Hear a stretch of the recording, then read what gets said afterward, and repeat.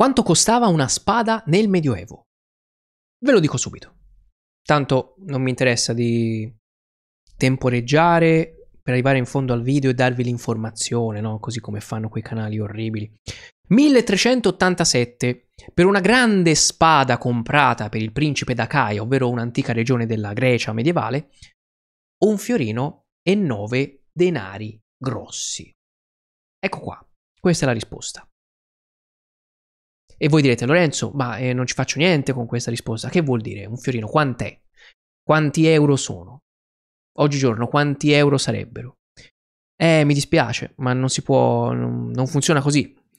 Perché qualcuno potrebbe dirvi che più o meno un fiorino nel 300 valeva 150 euro e voi potreste pensare, ah vabbè, 150 euro e ne guadagno 1200, allora 150, vabbè, sono comunque eh, una spesa, vabbè, chiunque può... No, non funziona così. Perché nel Medioevo il potere d'acquisto di questi 150 euro era completamente diverso. Le merci avevano valori completamente diversi da oggi. Gli stipendi, i salari erano completamente diversi. Non funziona. Vi faccio un esempio. Vi faccio un esempio. Nel 1353 informazione presa dal Sergio Tognetti, prezzi e salari nella Firenze tardo medievale, 100 uova valevano 20 soldi, ovvero una lira. Una lira era il sistema di monetazione che si inventarono nel Medioevo perché fondamentalmente non ci capivano niente neanche loro. In che senso? Nel senso che ogni città importante poteva battere moneta, poteva coniare moneta per conto proprio. Così avveniva quasi.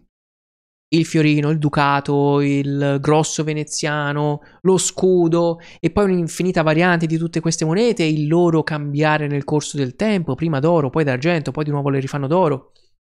In tutto questo caos, che tra l'altro serviva ad arricchire i banchieri che scambiavano le monete e ci prendevano gli interessi per ogni scambio, come oggi, uguale. Era così che si arricchivano i banchieri di Firenze.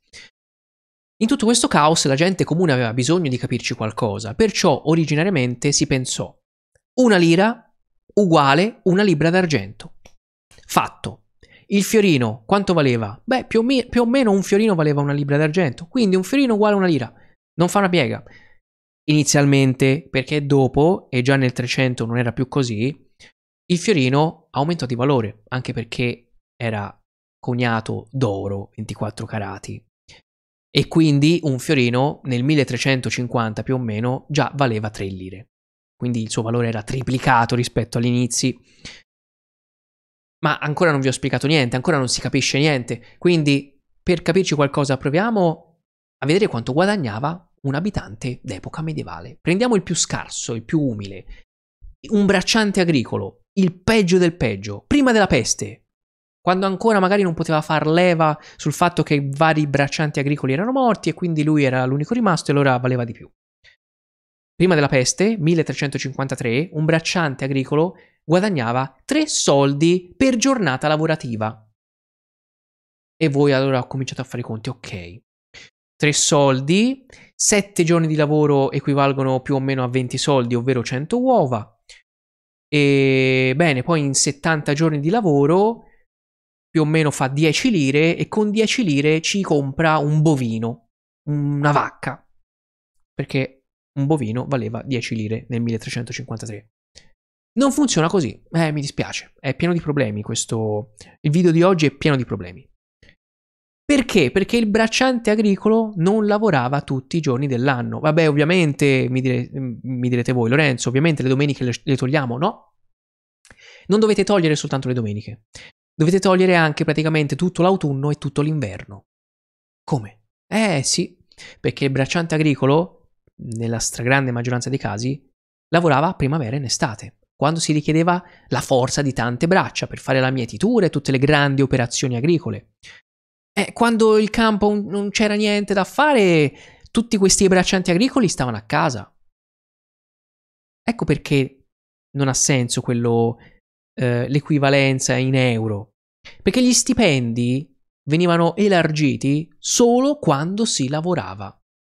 Non è come oggi, che il lavoro ce l'abbiamo tutto l'anno. E anche quello stagionale, oggi, viene pagato per intero.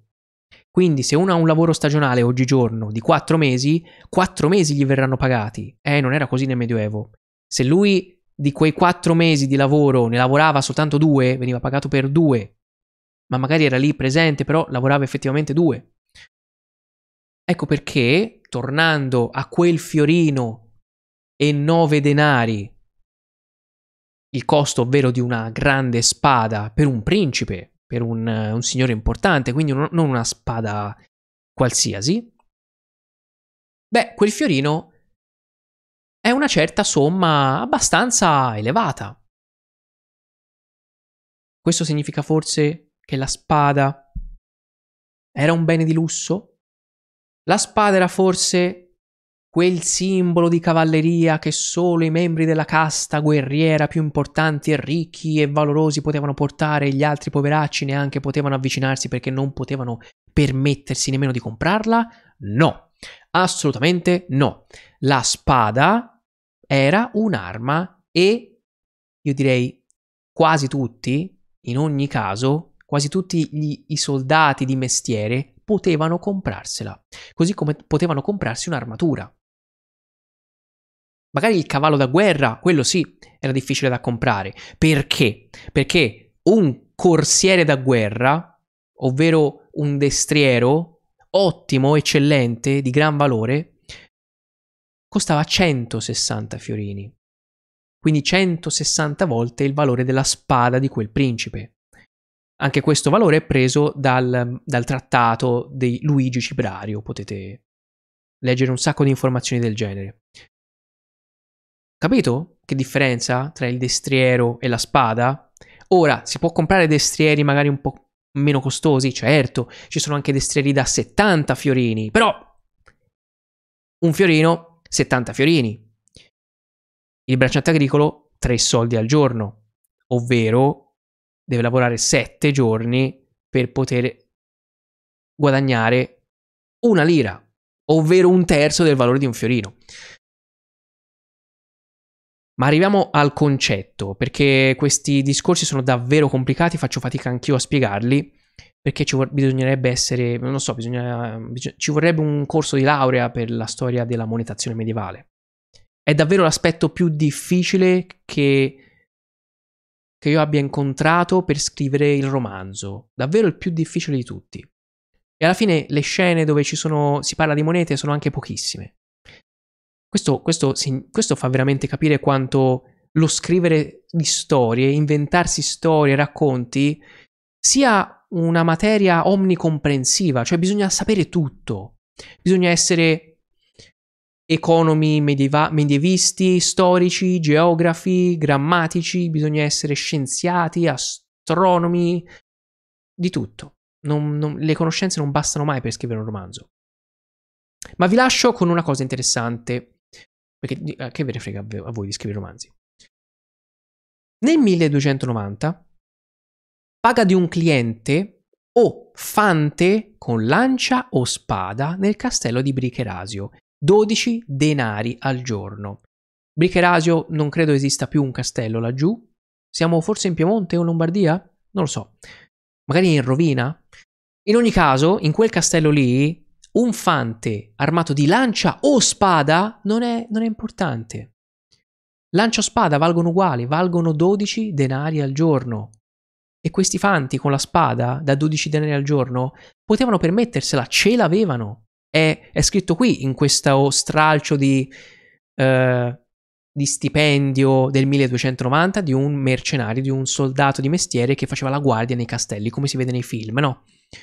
Ve ne dico un'altra interessante, l'ultima. Nel 1461 100 balestrieri partirono per Cipro sulla nave San Maurizio a 28 fiorini per ciascuno al mese.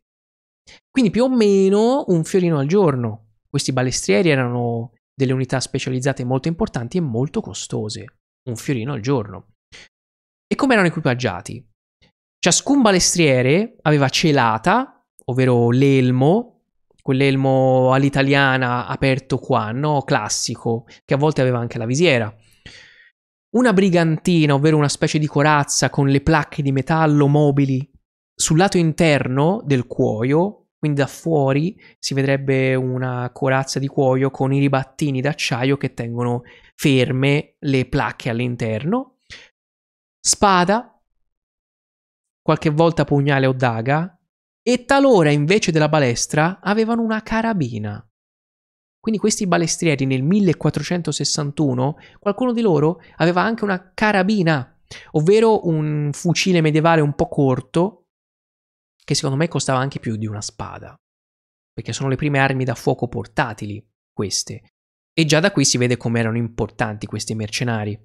Perciò, a parte tutte le, le nozioni difficili riguardo le monete, il cambio, una lira equivale a 20 soldi, che un soldo equivale, equivale a 12 denari, però questo sistema di monetazione non era, non era monetazione reale, era una monetazione di conto, perché in realtà c'erano, la moneta reale era il fiorino, il ducato, eh.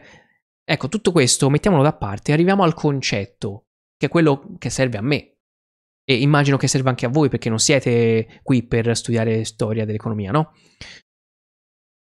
Una spada non era, questo è il mito, no? Il mito della spada come oggetto simbolico della cavalleria, oggetto di lusso, oggetto di sovrani, re, soltanto in pochi potevano permettersi una spada, eccetera, eccetera. Non è vero, non è assolutamente vero, perché ogni soldato di mestiere, io, di, io mi lancio in questa affermazione, quasi tutti i soldati di mestiere potevano permettersi una spada. Quasi tutti. E infatti abbiamo le nozioni di queste guardie di un castello sperduto, una, una normalissima guardia del castello, aveva la sua spada così come ce l'avevano anche i balestieri, erano un'unità di elite, però è uguale, avevano ciascuno la spada al fianco. Perciò evitiamo, sfatiamo questo mito della spada come oggetto di lusso, che poi in realtà viene sfatato già nei film, già nei romanzi, perché da un lato la si tratta come oggetto di lusso leggendario, costosissimo, e poi la vediamo impugnata eh, da chiunque, dalle guardie dei castelli dei film, la vediamo in pugno ai banditi, la spada, e allora decidetevi, o costa tanto oppure tutti possono permettersela. La realtà è questa, ovvero sì, un oggetto che tutti quelli di mestiere possono permettersi, perché come oggigiorno, quanto costa un'automobile, no? L'utilitaria più scarsa, 10.000 euro? Eh, lo stipendio medio 10.000 euro te li fa guadagnare in un anno. Quindi, se noi fossimo eh, degli archeologi del 5000 d.C., quando andiamo a studiare la storia d'Italia del 2022, ci rendiamo conto che in Italia quasi un abitante su tre ha l'automobile. Ma come facevano a permettersela l'automobile? Costava 10-20 mila euro e loro ne guadagnavano 10.000 al mese, come facevano? Quello che ci chiedemmo noi con la spada, no? Nel Medioevo, come facevano? Eh, risparmiavano, facevano dei pre- eh, prendevano dei prestiti, insomma, in qualche modo, o, o uccidevano qualcuno sul campo e gliela prendevano. Voi è così che avete preso la vostra automobile, no? Avete ucciso qualcuno al semaforo e gliel'avete presa. Va bene. Ognuno fa quel che vuole, no? Perciò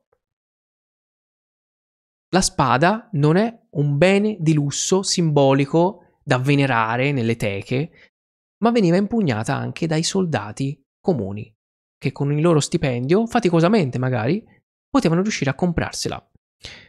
Grazie per essere stati con me, ci vediamo al prossimo video, ciao!